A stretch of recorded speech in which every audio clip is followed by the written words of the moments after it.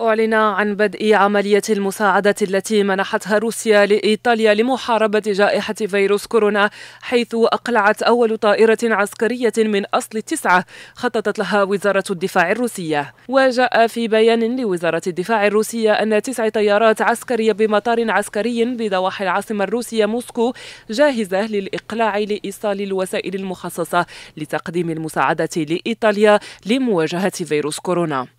كما أشارت وزارة الدفاع إلى أن مجموعة مكونة من 100 شخص تضم أخصائيين في مجال علم الفيروسات والأوبئة. لديهم خبرة كبيرة قد تم تجهيزها بمعدات متقدمة لتنفيذ أعمال الفحص والتعقيم.